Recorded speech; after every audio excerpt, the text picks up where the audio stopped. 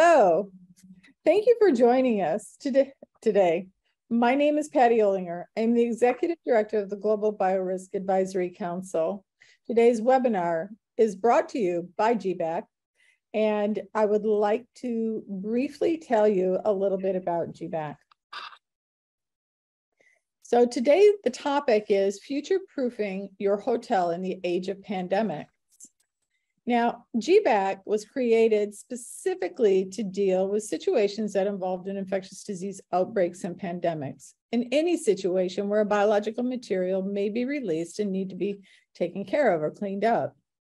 What we found was during the pandemic is that there was a great need, a great need for education, for communication, and to be able to help organizations reopen.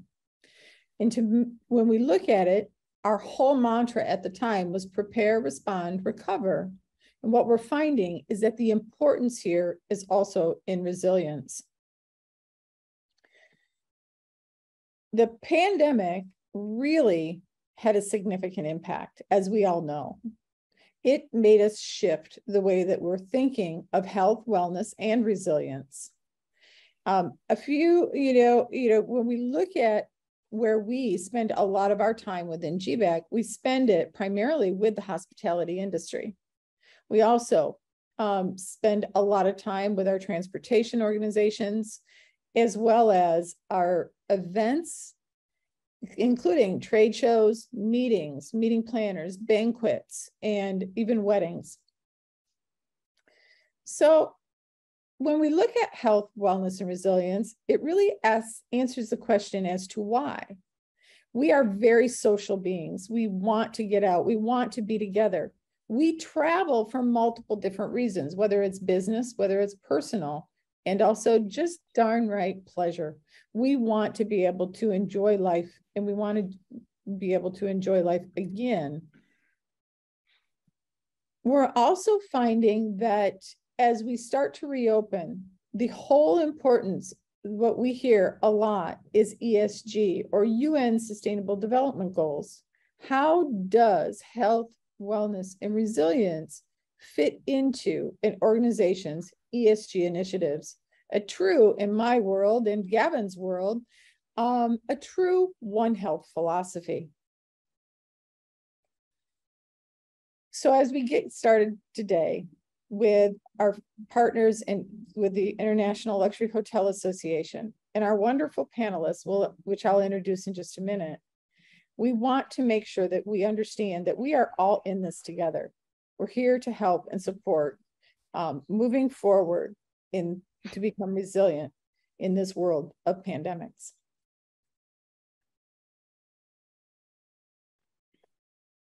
So today we have some amazing individuals who are very tied to the hospitality industry. And I'm going to let them introduce themselves, but it's one of those things that I could not give them justice for their backgrounds in, in this area. But first, I'll introduce my partner here at GBAC, Dr. Gavin Macgregor-Skinner. He's a senior director within GBAC, and I've had the fortunate um, you know, career um, time to spend a lot of time with Gavin over the years in some very interesting situations from a standpoint of pandemic preparedness and response. Gavin. Thanks, Patty. Hi, everyone. I'm Dr. Gavin Macgregor-Skinner. I work with Patty. I'm the Senior Director. And really, with, with our program, our GBAC STAR program, we work together to focus on cleaning for health, but, but to ensure that what we do with hotels and other, many other facilities is sustainable, it's responsible, but it's also cost effective and it's backed by science and, and measurement. So it's really important that we, we get this right. So as we've seen a wonderful evolution of cleaning over the last two years with the pandemic, we need to make sure that that continues in the future.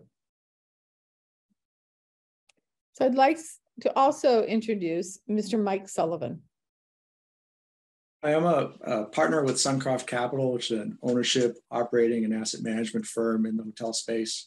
I'm a 30 year uh, veteran of the hotel industry. I like to say I've done everything in the hotel space from a 3,000 room hotel casino to a 19 room luxury dive camp in Indonesia and everything in between. Um, and that fits what we do. We're opportunistic and we work with a wide variety of hotels from a branded Hampton Inn to a luxury boutique in the mountains uh, and everything in between. Thank you. And Anton. Hi, everybody. I my name is Anton Moore. I'm the general manager of the Gansevoort Hotel here in the Meatpacking District in New York City. 186 uh, bedroom luxury lifestyle hotel that just underwent a $30 million renovation. Um, I started my career in the west of Ireland, where I'm from, at Ashford Castle. Moved to New York 20 years ago and started uh, here at the Waldorf Astoria. Um, and it's a pleasure to be here and on the panel. Thank you for having me. Mm, thank you. And my good friend, Frank Lavey. Hi, good day, everyone. Uh, I'm Frank Lavey. Uh, I recently retired from Hyatt Hotels Corporation after uh, 35 uh, wonderful years. Um, uh, at retirement, I was the senior vice president of global operations. We had the very good fortune of finding Patty and the GBAC crew uh, early on in the pandemic. And I, I, am so thankful for everything that they did to educate us and help develop a, a really great platform for communications with all of our colleagues and certainly with our customers as we've tried to uh, I guess boost their confidence in our in our uh, uh, sanitation and, and, cleaning protocols and, and, and get them back in our hotels. Uh, I know we also worked very closely with Patty and American Airlines, and again another important part of the travel industry, and again getting everybody's confidence back to to get out there and travel. And the good news is they are. they are, um, and it's wonderful. Um, well, let's get started with some questions. Moving forward how do we look at the future and how do we prepare? You know, hotels gather people together um, just by nature. Uh, this could be in a small boutique luxury hotel, 20 rooms, um, and it could be a large venue in a major metropolitan area such as New York. You know, regardless of the space and the size, people move throughout these facilities. They touch many surfaces. They they are in social little gatherings. Hotel operations have had to move quickly during the pandemic um, for, with COVID-19. Um, also with the um, concerns that are now being raised with monkeypox. What do we do? Gavin, um, you're seeing some trends, I know, and especially with how hospitality measures and, and how we communicate their commitment to health, you know, to wellness, to being resilient, you know, that whole aspect of how do we communicate that with our ESG metrics as well as you know supporting that UN Sustainability Development Goals. Can you expand on that, please? We've seen a, a very significant evolution of not only procedures, practices, but communication. So even within our GBAC Star program, Patty, we we talk to general managers, we talk to CEOs, we talk to operation managers, vice presidents, we talk all the way down to the front line essential workers within the hotel industry. The message seems to be very clear, very precise, people want to come and stay in a hotel now and feel safe. And they that's where that emphasis now on cleaning for health. So this this links in really nicely with um, hotels that have developed a framework for their environmental, social, and governance priorities or their ESG priorities. And we're often hearing from, especially general managers of hotels, that the GBAC is one piece of that puzzle that really helps with the intersection between their heart what they really want to do, but also their business performance. And very cost effectively, very simply, we've been able to set up metrics, validations, measurements, the way to visualize what's being done. So, so many people are coming into a hotel going, How do I know the lobby's clean? How do I know the restaurant is clean and healthy and safe? I go into a room, there was another person or another family in this room yesterday. How do I know in the time from that family left to the time that I'm in there now that my room is now clean and safe? And it's really giving the ability to the hotels that have been doing this for many, many years, but that ability to communicate, this is how we do it. And that's one of the key, key, key areas we're focusing now, now, now as we move forward in strengthening and uh, those environmental, social governance, those ESG strategies, but also bringing more value to both employees in hotels and also the customers on how we do stuff. Uh, thank you, Gavin. Um, you know, when we start looking at resilience in uncertain times, and there's so many different aspects to this. And when we look at what changes, you know, that have been implemented that help hotels better, you know, handle these uncertain times, and how do we see these changes help and build resilience? Michael, Anton, Frank, um, you know, if you could expand on that, um, Michael, why don't we start with you? How are you seeing this affecting hotels? Well, for, there's a variety of things, obviously, we can all touch on, but I think one of the big things is making sure you have a, strong team. The teams that work together. It's kind of corny. We all say it, we all paid it lip service, but it's become more true than ever. Whether it be because of the shortfalls with people being out with health issues or whatever else that need to fill in, or the fact that you need to help each other, make sure if somebody is sick, you can help them. Um, you really want a team that can communicate well and help each other as well as you know everyone kind of has to be cross-trained so they can help each other. We have a lot of labor shortages that we've all seen in the industry but we're also having labor shortages around these pandemics for illnesses and you need people to be able to step in and, and fill in. So you can't have somebody that just works at the front desk or somebody who just works in sales. Everyone has to be able to do a little bit of everything and help out each other.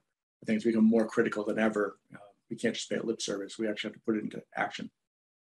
Yeah um, I hear that quite a bit. Um, Anton, do you want to expand on that? Yeah, I think those are uh, you know excellent points. I think really um, no one could have prepared us for 2019. So you know, there's no page in in any manual that's going to prepare you for what happens when a pandemic hits.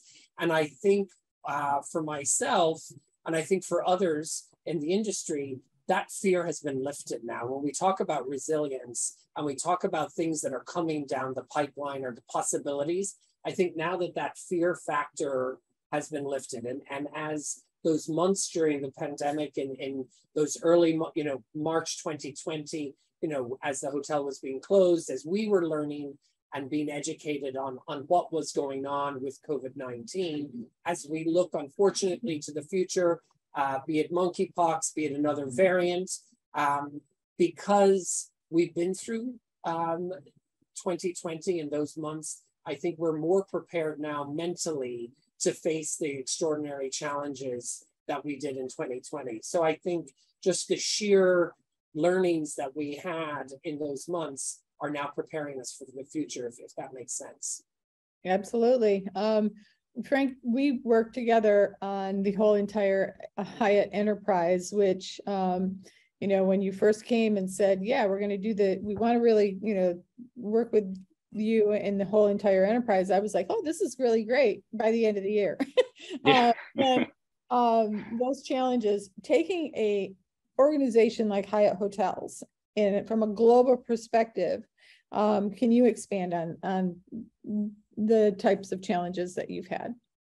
Yeah, I mean, well, as you remember, Patty, we were really learning in waves because you know we had being a global organization. You know, this started in the Asia Pacific region, so we we watched what was happening there. Although their governments took a very different approach and really how they they started the lockdown process, and then it started sweeping across Europe. So by the time it got to the states, we had somewhat of uh, and and and we, we we knew what the expectations were, right? But it was really, I think, um, you know, Gavin hit it on the head when he said it's about making people feel safe. And I think that, you know, having a really solid communications plan um, so that you're going to build back that confidence, not just in your in your colleagues so that they they're feeling safe coming back to work, but for your your guests to come back into the hotel, uh, for your your communities, for your owners, so that they know what's going on. Um, so the communications plan is is really essential, and then again maintaining that vigilance about how you uh, are, are practicing all of your, your housekeeping protocols, um, you have to, moving forward, we have to, you know, really maintain an airtight uh, housekeeping uh, uh protocol throughout all of our facilities. Uh, and, and then, you know, I think one of the things that we really did learn, and we're going to have to practice this moving forward, is respecting people's space and, and, and, giving your guests a choice, whether it's in, you know, food and beverage delivery to the room, their entry to the hotel, how they engage with your staff. Um, you know, housekeeping services. Again, a lot of people have been opting to to forego housekeeping services or have them every couple of days because they're very wary about, you know, again, Gavin touched on this before about, hey, somebody's been in this room before me. Uh, I want to know that it's super clean when I got in there. And if it's if there's somebody entering the room uh, in your absence, that you know they've had again all of the the practices in place to ensure that there's not uh, not any chance of anybody getting sick. Yep, there has been quite a few challenges in that and yeah. a lot of discussions in those areas. Um, so when we look at some of the, I would say over the last two years, some of the things that you didn't think about that you were going to have to implement or maybe some uniquenesses or some of the you know solutions that you definitely want to keep you know we've seen some amazing innovations come through in the last couple of years we continue to see innovations coming through and they'll um, even now um, what are some of the lessons that you've learned beyond what we've just talked about that you see as extremely important with resilience um, and Toon, we'll start with you with myself. Sorry, yes. Um, I think that the biggest to me is is the human aspect. Is that you know for for all of us in hospitality, you know, creating mem- memorable experiences.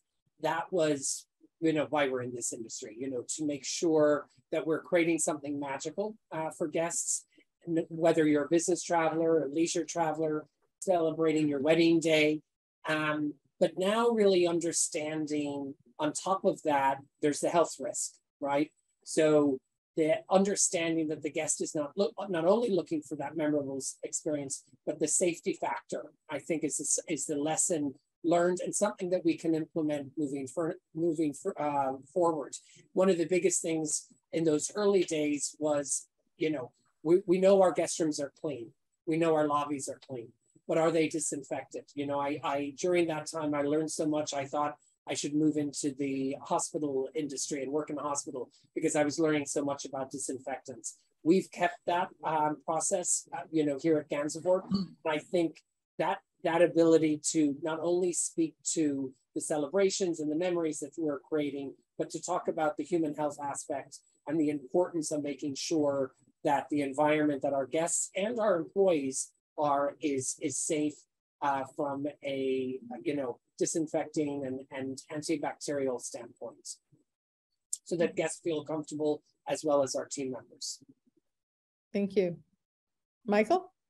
Yeah, I think I think I would follow up with Anton's point. I think um, I would elaborate on the employee side. You know, we were all focused on the guests, but we also had to make sure our employees feel safe. And that was something that hit me hard during the pandemic, where in the early days we were trying to keep all of our hotels in our portfolio open.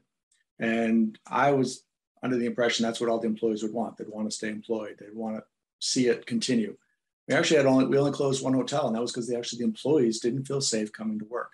Mm-hmm. Um, and you know, New York City was you know ground zero of a lot of what the U.S. saw in the pandemic, and a number of the employees simply did not feel safe. And so we did listen, and we closed for a period of time. Uh, and worked with them on how not only we would reopen, but how we would set up workstations and everything else so they could feel safe handling the guests coming into the hotel.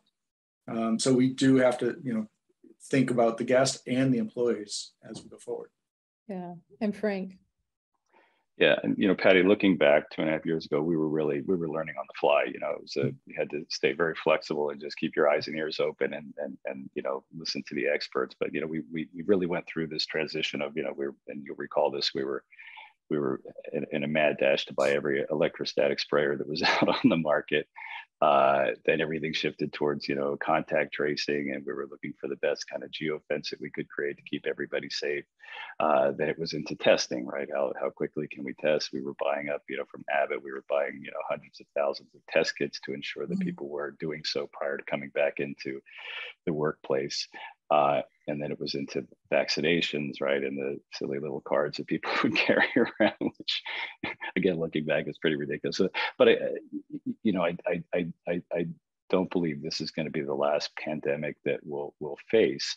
Uh, but as I say, I think we really learned a lot here. This was kind of unprecedented. And so I think just again, keeping your eyes and ears open, having, as I said before, a, a really, you know, airtight communications plan uh, just so that everybody's kind of staying on the same page. And um, yeah, I'm confident uh, we'll we'll we'll get through whatever you know challenges come at us in the future.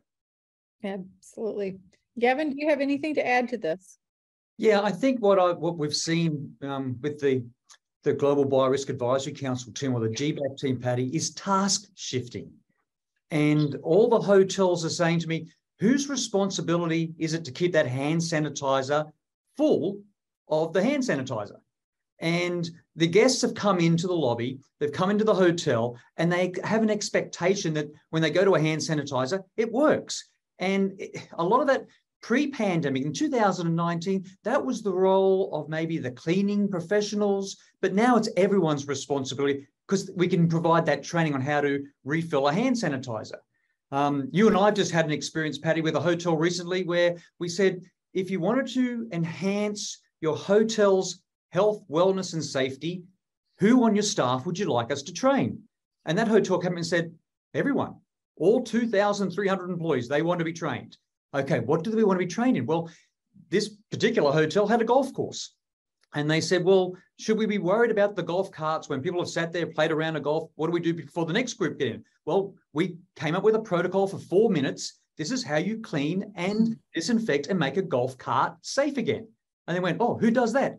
The guy at the golf cart. he's, he's, he's right there. You don't have to wait for this emergency team to come in. It's, it's part of everyone's responsibility. It fits in really nicely. So in, for me professionally, task shifting and training has been a real critical part of this. And people have taken more responsibilities than they were probably in 2019. I think that's a wonderful thing. I do too. Um, and it is something that we have seen a lot of shifting. Um, I've sat with some GMs of multiple different hotels around the world. The one that really got me was a, a, group that they were just starting to reopen. It was their very first banquet. Um, and the they only had like five people in the hotel, and this is a big hotel. And the GM literally was, eh, they had explained to me that in a one day they flipped 96 beds and they helped flipping 96 beds. Now, you guys know what that means. It seems like a lot to me, but the individual said, I could hardly walk at the end of the day.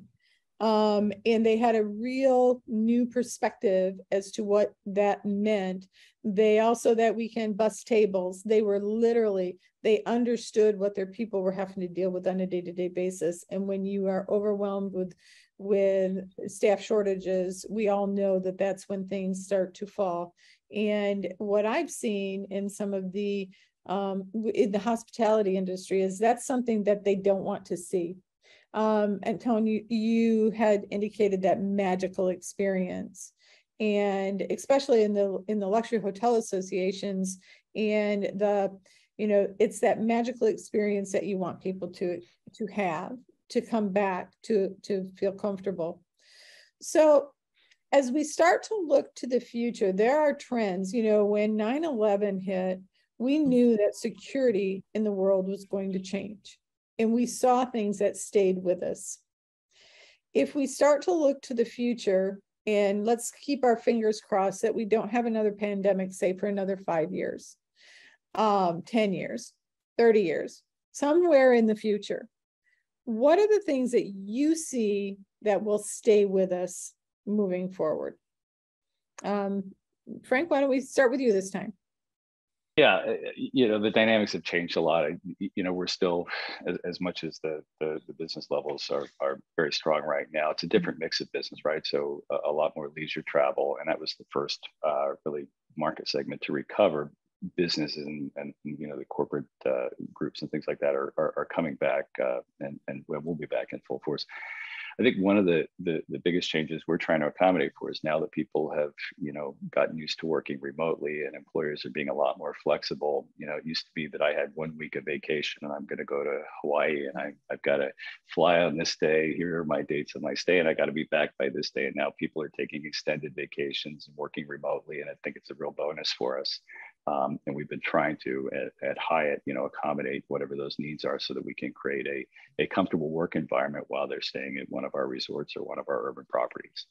So that, I think that's a trend that's here to stay. Michael? Yeah, uh, I would echo that as well as also, I think a lot more emphasis on outdoors. Um, even in our hotels that are not in a leisure destination, you're seeing more like social groups, individuals that want to be outside. They feel safer outside than indoors. So you're seeing a lot more event setups that are being uh, arranged to be outdoors. Um, and I think that will continue as well. I think not only people like being outside, which they should, it's healthy, um, but it just makes people feel safer if they're outside rather than trapped in a meeting room. And Anton. I think for you know us, and I would speak for the hotels in, in the New York market, um, the local tri-state. I think the drive market, um, people. I, I think unfortunately, as as the airlines are are desperately trying to stabilize, I think it's going to take uh, the airlines some time to get back to the regular um, travel patterns and, and pilots and aircrafts and some of the challenges they're facing that we will continue to see that drive market, as we call it, leisure, tri-state area, local community, uh, going for those short, shorter staycations. Um, our weekend business, our leisure business is is so high, and I think uh, that's going to continue at least through next year and potentially beyond. You know, I also feel that the short-term nature of bookings, um, we see it here continuously, where you know I'm no longer panicking of, of soft numbers two weeks from now because that business is picking up so quickly. I think people are making decisions um, in a much more shorter booking window than they did in the past. And I would imagine that too is going to continue um, over the next couple of years. Yeah, I, I think you're right. I the the travel industry obviously is is struggling a little bit with keeping. I mean, um, Gavin and I are here in Chicago, and we already had several members of our team that are here um, take to go from Cleveland to Chicago. It took them two days because of you know travel uh, issues that they dealt with. Um, and we've seen that. You know, one of the things that I've seen, and and you mentioned that you've been with Ashford Castle, which we've worked with. Um, what I'm seeing in some of the hotels, you know, for a long time, we we see experiences. They they promote experiences and we've seen those experiences a lot with you know sustainability and the and um our our green sustainable um colleagues our our our, our siblings you might say. With ESG um, and UN Sustainable Development Goals, we're starting to see that whole big picture of health, wellness, resilience, both from the environment, from social responsibilities, and then from that governance standpoint. We've had a couple groups start talk about, and I see this more in resorts. Uh, uh, Simon Marxer, um, who mm-hmm. with Miraval Spas from Hyatt, um, I had the pleasure to work with. And what we see is that whole being human um, philosophy of experiences. And do you see that as a as a draw um, in your clientele that's coming um, in that experience, not just from a sustainability standpoint of green, but also from that health and wellness as well? Oh, 100%. You know, tomorrow night on the Gansevoort rooftop, uh, we're having a health and well wellness evening. Um, and to think, you know, at one stage, you know, all of the nightlife and fun activities that continuously play a role here, but wellness and health is, is the forefront of people's minds. And we have definitely adapted to that um, and are strategically aligning ourselves with different wellness brands to ensure that we have that offering. And I think you know, the the uh, our location and our, our wide plazas and streets outside, uh, our guests feel very comfortable in this neighborhood. And I think people are looking for that where again, a couple of years ago, that mightn't have been something when you come to New York, I want to stay in a neighborhood that has lots of open spaces. You know, between our plazas out front, um, the incredible Little Island uh, that opened last year to um, the High Line we have all of this neighborhood features that we're promoting uh, to our guests, our future guests, uh, to ensure that they're feeling comfortable when coming to, to this neighborhood. So 100% uh, wellness is, is playing a, a major factor um, in our clientele. Michael? Yeah, no, we're seeing similar. Uh, the hotels that we have that are particularly located near what I call active outdoor areas, uh, whether it's skiing, hiking, you know, beaches, etc have been doing phenomenal. I mean, not only obviously the drive to has been popular throughout the hospitality industry over the last couple of years, but I mean, in particular, seeing where there's an activity center that people are out doing healthy activities rather than just sitting around. Um, they really want that and crave it. I think after everyone was stuck inside for two years, they're excited to get out and move. Absolutely. And Frank. Yeah, I mean, well-being has always been a, a, particular area of focus for us, whether it's, you know, in your work-life balance and then, you know, everything that we've gone through in the last two and a half years has really been, you know, it was a big change for people, like working from home and, you know, having to balance, you know, taking care of your families and, you know, all the, the, the, the restrictions that were in place in all, in all the big cities and all of that. So, um, you know, we really focus not just on, on physical, but also uh, mental well-being um, and, and we'll continue to do that.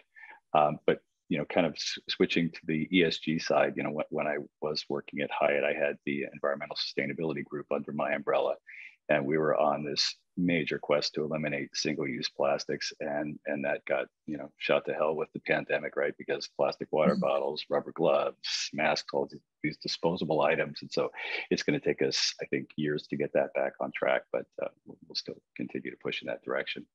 Oh yeah, I you know I mean I think that the pandemic did take its toll on on that. Um, and what we're also seeing is with the economy the way it is, uh, people are more concerned sometimes about am I going to be able to put food on the table um, yeah. versus recycling a plastic bottle. Um, and we will get back to that whole what we're seeing is you know, what Gavin and I talk about is a One Health kind of perspective the other thing that we're starting to see in this area of, you know, healthy hotels, and I think that luxury hotels really will will lead this effort is some of the new technologies that we're starting to look at with indoor air quality. And um, not just with the indoor air quality frank you mentioned um, electrostatic sprayers but different technologies that help you do a, the job better. Um, gavin can you talk a little bit about the healthy air um, that you're working with on the initiatives as far as what you're seeing in the industry and some changes? Yeah, this is really interesting. And I, I would actually say, Patty, it's caught me by surprise. Mm-hmm. Um, the fact that I can pick up my cell phone, I go to my weather app, and I'm a runner. So when I go for a run, I want to see what the outdoor air quality is. And my, t- my, my cell phone tells me the outdoor air quality is this. And then I make a, a, a personal risk assessment, a personal judgment. Do I go for a run today or not? What I'm seeing is that I'm, I'm actually seeing a, a, shift from not just looking at outdoor air, but now indoor air, the quality of indoor air. And I'm surprised, Patty, by the hotels that are being able to demonstrate their commitment to healthy and safety uh, indoor spaces by showing dashboards. They've actually invested in a, a very cost effective or affordable dashboard that shows what the air, indoor air quality is in different parts of their hotel. And they've been now able to then take those numbers. Um, you know, there's variables. There's usually about 10 variables that we would measure in the air, and they've been able to interpret is it is you know what is the quality of the air and why everyone should go, oh, thank you for caring about me. Um, mm. And I've seen, so I've seen, uh, I've, I've, seen a real evolution of some really innovative ways to tell the story. I've seen QR codes in hotels. I've seen, uh, I was in a hotel the other day. I went into my room. I turned on the TV, said, Welcome, Gavin. And here was the 30 second video showing me how my room would be clean in 30, it was cleaned in 30 seconds before I got there. I went, Wow, that's fantastic. So it's I know that hotels have invested in programs, products, technologies. Uh, they've invested in their staff, and and and and and and so many other things. But being able to say that precisely, um, validate, um, and say it in a way that, that, that gives you the confidence that you are safe. I'm seeing some great examples out there, and I wish I could share them all with you because it, it, it this has really caught me by surprise, and I think it's fantastic. Mm, thank you, Gavin. So as we um, bring bring this panel um, discussion to a close, um, is there anything that you would like to share with the um, with our audience with regard to you know health, wellness, resilience moving forward in the in this age of pandemics? Um, it's a very odd thing for me to say in the age of pandemics, but it is a reality that we're dealing with today. And as we move forward, how can we work together as leadership uh, to be resilient? Um, Michael, why don't we start with you? I think it's kind of basic. It's having a level of respect that different people have different tolerances for whether it be cleanliness uh, or you know what's been going on in the world. Obviously, we we all read about the different political point of view, but generally speaking, there are more people. Some people are going to have a lot more concern than others, and I think you just have to have respect for everyone's different position and realize we're all trying to get to a better place uh, and just allow them to feel the way they feel. Mm, thank you. Anton? I love that um, respect. You know, I've noticed that with my own team members. Uh, there's team members here that uh, continue to wear masks and are a little bit more cautious than others. Um, I think that's an excellent point. And as leaders within our industry, um, we, we need to lead by that and respecting, and again, our, our, our colleagues, our team members, and then guests, you know, guests when you approach, uh, when I approach a guest in the lobby, you know, things are different now. You're not leaning in, you're not, you, you know, you may not want to embrace as you did one time. Um, and I think that's important. I think things like this, I think this is a wonderful opportunity. And I thank you again for, for having me. And it's communicating with one another and, and keeping our ears to the ground as, as leaders in the industry and encouraging our managers to do the same. Um, I'm in constant contact uh, with, with fellow hotel colleagues, you know, who I might compete for business with. Um, but I find it's important that we're communicating um, about what lies ahead and, and listening um, to the scientists and, and following uh, the CDC and, and those experts um, and being more aware. I mean, I know it breaks everybody's heart. Um, certainly, I didn't think I was going to be living through a pandemic in my lifetime, and the thought of that of going through another one. Um, hopefully, it won't be for another five or ten years, but just being more aware and more communicative uh, with one another um, I think is going to help us greatly as we navigate through this uh, this difficult time. Mm, thank you. Frank? I think one of the biggest lessons of the the last two and a half years is that we've we've really learned to to do less with more or more with less. Excuse me. You know, we we went through the period of you know shutting down facilities and having to reopen them, and then dealing with trying to get the staff back on board. We're still dealing with that, uh, not just in the, in the hotel industry, but but across the whole the whole travel uh, industry. Um, so you know, we we had to get very you know resourceful and innovative, and I think that you know some of those things are going to be permanent changes, right? Well, we've been doing more clustering and realizing that it works where you have a you know director of sales that oversees two or three properties versus one. Um, you know, the business levels will eventually get back to a point where it will afford us to have, you know, what I'd like to call full staffing. Uh, but I think some of these changes, uh, you know, we, we we never really took that leap of faith before that we could, you know, operate a big banquet with five people and turn 96 rooms, right? you know, as, as Michael said it early on, it's all about the team, right? Everybody's got to pull together and, and, and make it happen. And I think that uh, that's probably been the, the most, you know, again, positive thing uh, from my perspective of the, the last couple of years. Thank you. And Gavin? I think it's really important. Anton mentioned it, the fact that he's talking to scientists. Gosh, Anton, when, when did you start doing that? Um, and the fact that as a scientist, I can sit at your table and not fully understand everything you do, but help you with all aspects of your business. And you don't have to, I don't have to prescribe what you do, but I can work in partnership and say, What's the problem? What's the solution? Is it sustainable? Is it validated? Is it cost effective? No, Gavin, it's not. Come up with another one. And I think that's what we work with our, our GBAC team is trying to ensure that what we do is real. More importantly, it's doable and you get a return on investment. Mm, thank you. Well, I have to tell you, from a personal standpoint, I mean, Gavin and I have, before we joined GBAC and, and ISSA, the World Leading Trade Association for the Cleaning Industry, um, we really were at the front lines with healthcare um, during the Ebola outbreak. Um, I was in research and pharma for many years and actually um, was in uh, infectious disease research um, as a scientist and then also as a biosafety professional. I've worked all around the world from that high level containment response kind of thought.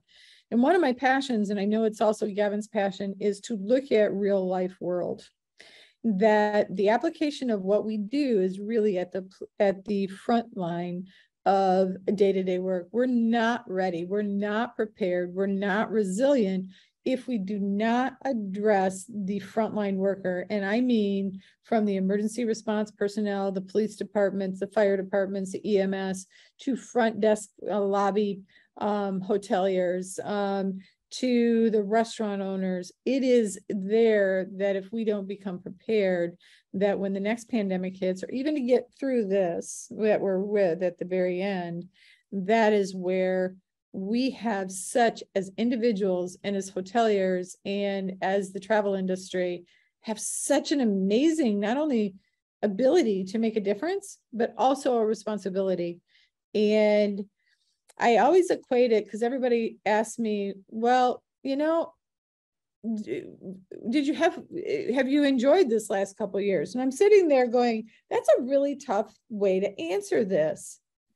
You know as an if you were an emergency room medicine physician you've trained many years to be an md to be able to be there when someone comes in the door that's hurt and you hope you never see a patient come through that door but when they do you're really glad to be there we're really glad that we've been able to be there to help with the hospitality industry and all the industries that we provide support to. Um, and we learn from you every single day the challenges that you guys are facing, whether it's you know staffing, whether it's technologies that help you do what you do at a very high level. And we really want to thank you, every our, our panelists here today, as well as the International Luxury Hotel Association for this opportunity to spend time with you. And we really do look forward to spending time with each and every one of you moving forward. So thank you very much.